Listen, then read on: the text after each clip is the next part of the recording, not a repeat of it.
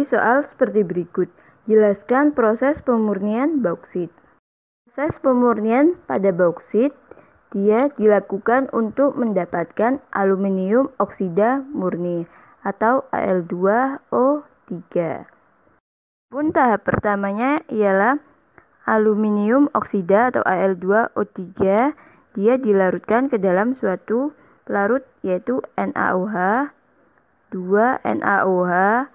Nah, di sini dia akan larut sementara zat pengotornya tidak dapat larut dan akan didapatkan nyawa 2Na Al OH 4 kali.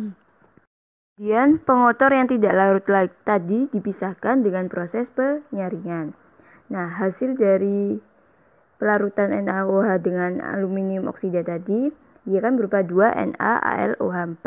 Nah, dia dialirkan dengan gas karbon dioksida sehingga akan menghasilkan 2 AlOH 3 kali. Adapun reaksinya adalah seperti berikut. Di sini kita tulis hasil dari awal tadi 2 NaAlOH4 dialiri dengan gas karbon dioksida yaitu CO2. Nah, di sini akan dihasilkan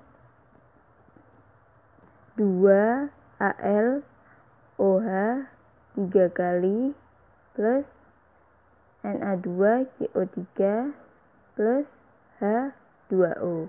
Kemudian 2ALOH 3 kali akan dipanaskan sehingga akan didapatkan aluminium oksida murni atau alumina.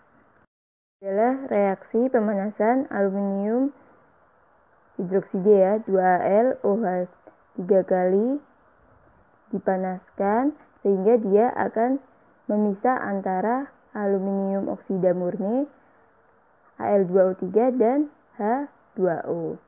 Nah, dari sini kita sudah dapat aluminium oksida murni yaitu berupa Al2O3. Nah, ini nanti akan diproses lebih lanjut untuk menghasilkan logam aluminium. thank you